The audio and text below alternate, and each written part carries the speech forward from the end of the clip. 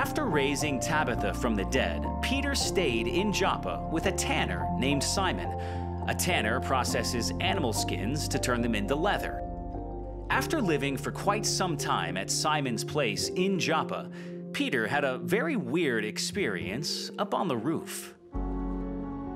According to Acts chapter 8, Peter went to Simon's roof to pray, but soon nodded off.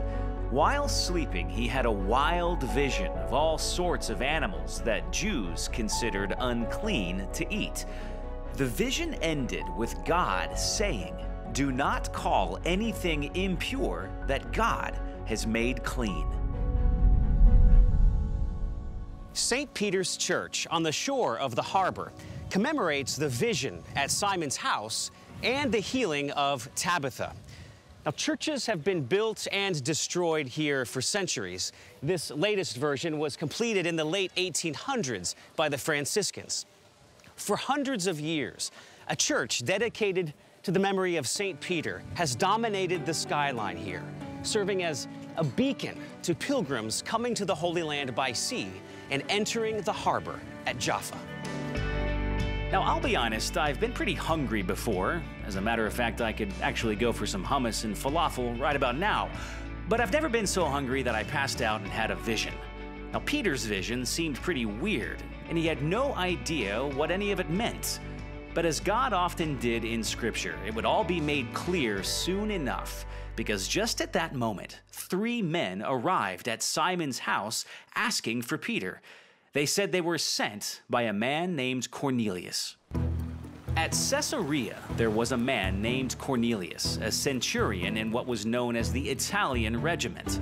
He and all his family were devout and God fearing.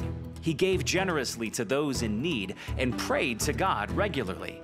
One day at about 3 in the afternoon, he had a vision.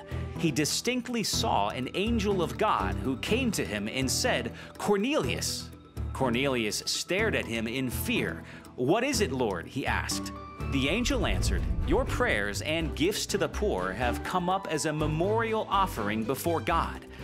Now send men to Joppa and bring back a man named Simon, who is called Peter. He is staying with Simon the tanner, whose house is by the sea. Acts 10 1 through 6. Cornelius immediately sent three of his trusted men south to Joppa to find this man named Peter and bring him back to Caesarea. And while Peter was pondering the vision, the Spirit said to him, Behold, three men are looking for you. Rise and go down and accompany them without hesitation, for I have sent them. And Peter went down to the men and said, I am the one you were looking for. What is the reason for your coming? The men replied, We have come from Cornelius, the centurion. He is a righteous and God fearing man who is respected by all the Jewish people. A holy angel told him to ask you to come to his house so that he could hear what you have to say. Acts 10 21 and 22. The next day, Peter went with the men to Caesarea. Now, the cool thing is, we can still make this trip today. Caesarea Maritima is about 30 miles north of ancient Joppa, right on the same beautiful Mediterranean coast. Caesarea was an incredible port city built by Herod the Great to honor the Roman Emperor Caesar Augustus. After Peter arrived here, he was taken to the house of Cornelius, a leader in the Roman military. Now, this section of Caesarea is filled with ruins of upscale homes where high ranking officials such as Cornelius would have lived. Now, maybe it was while he was traveling, or maybe it was the moment he walked into Cornelius's home, but somewhere along the way, the meaning of Peter's vision from God became very clear to him. He said this You are well aware that it is against our law for a Jew to associate with or visit a Gentile. But God has shown me that I should not call anyone impure or unclean. So when I was sent for, I came without raising any objection. May I ask you why you sent for me? Acts 10 28 and 29. Cornelius shared his entire story, and then Peter responded.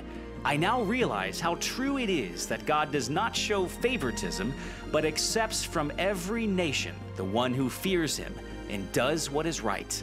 Acts 10 34 and 35.